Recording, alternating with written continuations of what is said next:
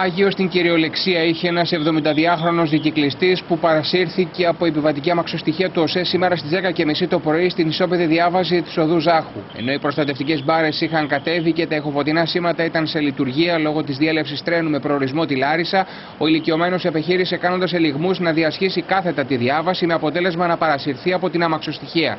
Έκανε ένα λιγμό και έψαχα στο τρένο, ενώ περνούσε στο τρένο. Ενώ περίμεναν οι άλλοι μπροστά και, και πίσω, έκανε λιγμό και ήρθε και προσέκρουσε πάνω στο τρένο. κατεβασμένε Κατεβασμένοι και, τα- και όπως βλέπετε εδώ κατεβασμένοι και, και τα φωτόσήματα δουλεύουν.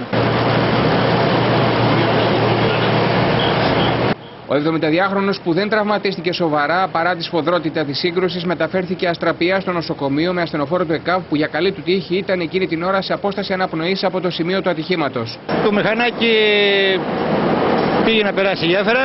Ενώ ήταν κατεβασμένες οι μπάρες πήγε να περάσει. Αυτό δεν το είδα για τις μπάρες.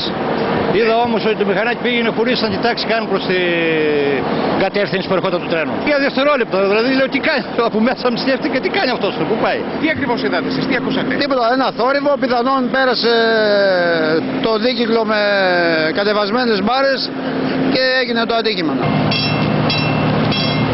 Για αρκετή ώρα η αμαξοστοιχεία παρέμεινε ακινητοποιημένη ενώ η κίνηση των οχημάτων στην μπλοκαρισμένη διάβαση γινόταν με δυσκολία και υπό τη ρύθμιση που έκαναν άνδρες της τροχέας.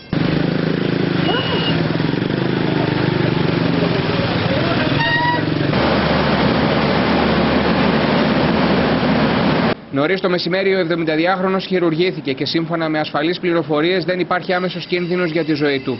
Να σημειωθεί ότι δεν είναι η πρώτη φορά που σημειώνεται ανάλογο ατύχημα σε κάποια από τις αρκετές ισόπεδες διαβάσεις του ΟΣΕ εντός του πολεοδομικού συγκροτήματος Βόλου. Αυτή τη φορά τουλάχιστον λειτουργούσαν τα εχοφωτεινά σήματα και οι προστατευτικές μπάρες.